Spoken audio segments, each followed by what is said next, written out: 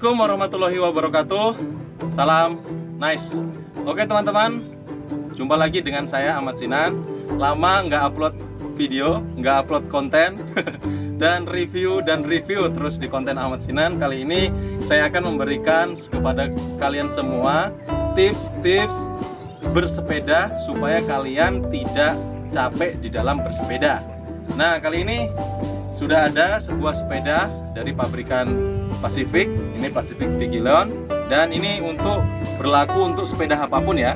Jadi saya akan memberikan tips untuk kalian bagi para pemula tentang uh, supaya goes tidak terlalu capek.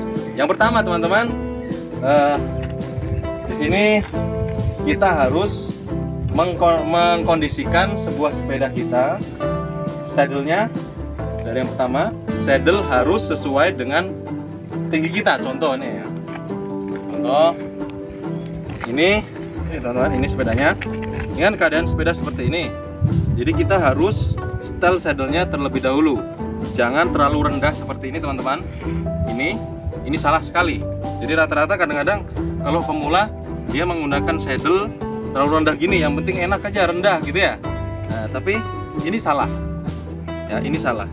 Ini saddle di kalau rendah begini uh, ini digunakan untuk ketika kala kita lagi turunan off-road turunan dalam curam curam gitu. Jadi kita harus turunkan saddle. Tapi keadaan yang benar yang pertama itu kita atur saddlenya sesuai tinggi lengan kita. Sesuai tinggi lengan kita teman-teman. Begini ya. Kita cara pertama mengukurnya ini ini sama ini kita harus sesuaikan di sini saddle coba kita ini ini masih ini kameramen yang dekat kameramen supaya tahu. Uh, ini lihat ya. Ini keadaannya masih terlalu tinggi. Ini terlalu tinggi ya. Kita turunkan lagi. Kita turunkan. Turunkan. Ini. Nah ini ya. Ini ini telapak tangan kita teman-teman harus pas di sini. Dan ini mentok di sini. Ya. Ya itu tips pertama Terus tips kedua, ini tips dari saya. Yang kedua, saddle ini kembali ke saddle lagi. Saddle harus kalau tidak yang dengan cara yang tadi kita harus sesuaikan dengan tinggi stem ini. Ini kurang sesuai ya, kita tinggikan sedikit. Nah, ini sudah sesuai tingginya. Jadi ini tips yang kedua. Yang ketiga, tips supaya kalian nggak capek kalau goes. Kalau goes, kalian harus menggunakan tips yang ketiga ini. Penting juga.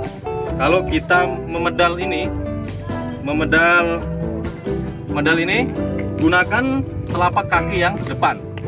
Telapak kaki yang depan. Jangan menggunakan yang ini, teman-teman. Jangan menggunakan yang ini. Oke, contohnya seperti ini, teman-teman. Kameramen syuting dengan jelas telapak kaki ya. Uh, ini saya kasih tahu tips yang ketiga supaya pedaling kalian nggak terlalu capek ya. Gunakan telapak kaki yang ini depan seperti ini. Sorry kakinya hitam ya. Ini begini ya. Ini yang benar ini yang benar. Di telapak kaki ini di sini. Itu yang benar. Nah, biasanya ada yang salah dia menggunakan telapak kaki yang tengah. Tengah ini. Kameramen sponsor ya boleh ya. Ini menggunakan ini salah ya teman-teman. Yang benar itu begini. Nah ya ini. Oke tips yang keempat. Yang keempat ini terakhir uh, posisi setir. Setir ini menentukan sekali kecapean ini. Kalian harus mengupgrade setir setirnya.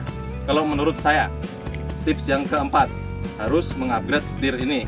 Cari usahakan setir yang agak naik ke atas ada rise nya ke atas jangan flat. Itu apa namanya mempengaruhi tenaga kita. Oke teman-teman sekian review dari eh kok review? Salah lagi. Bukan review ya kebiasaan review. Jadi teman-teman terima kasih. Itu tadi adalah tips untuk kalian bagi pemula agar bersepeda tidak capek dan tidak gampang capek. Tapi tetap ingat bersepeda itu pasti juga akan capek namun pasti kita akan mempunyai trik untuk menghindari capek itu. Maksudnya mengurangi capeknya. Oke, terima kasih. Jangan lupa klik tombol subscribe dan bunyikan loncengnya.